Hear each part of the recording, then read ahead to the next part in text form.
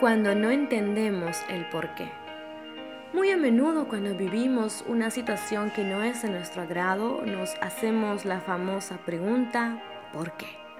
Buscamos una respuesta o una causa de lo que nos está pasando, pero sucede que la mayoría de las veces no la encontramos. Preguntarnos el porqué de la situación que estamos viviendo no es malo, pero en ocasiones nos causa daño nos entristece, no saber cómo es que nos suceden ciertas cosas o por qué somos nosotros los que tenemos que pasar por ellas. Pero en medio de todas las dudas que pueden surgir alrededor de ti, si de algo puedes estar seguro, es que Dios tiene control. ¿Cuántas veces te has preguntado por qué a mí? ¿Y cuántas más le has preguntado a Dios por qué?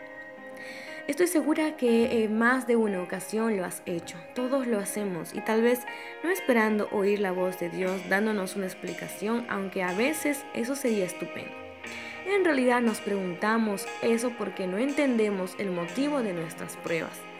A veces la respuesta a nuestro por qué llega cuando dejamos de preguntárnoslo.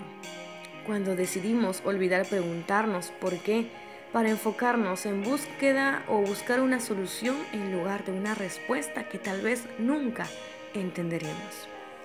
Dios también nos habla por medio de situaciones y nosotros nos acercamos a Él por medio de ellas. Tal vez al principio buscando una respuesta, tal vez últimamente solo le has preguntado a Dios por qué y te has olvidado que más que darte una respuesta, Él quiere darte la seguridad de que sea cual sea tu situación, tiene todo en sus manos. Creo que la pregunta del por qué va encaminada a nosotros mismos. ¿Por qué dudo? ¿Por qué me es difícil confiar? ¿Por qué me preocupo si he puesto todo en manos de Dios? ¿Por qué creo que llegará tarde mi respuesta si el tiempo de Dios es perfecto? Entonces, ¿Qué mejor respuesta necesitas escuchar? Dios tiene tu situación en perfecto control. Salmos 42.11 dice, ¿por qué voy a inquietarme? ¿Por qué me voy a angustiar? En Dios pondré mi esperanza y todavía lo alabaré. Él es mi Salvador y mi Dios. Por favor, comparte este bello video a todas aquellas personas, amigos, familiares que estén atravesando un momento difícil y que no esté logrando entender el porqué. Este video es para ti y para ellos. No te lo quedes, compártelo.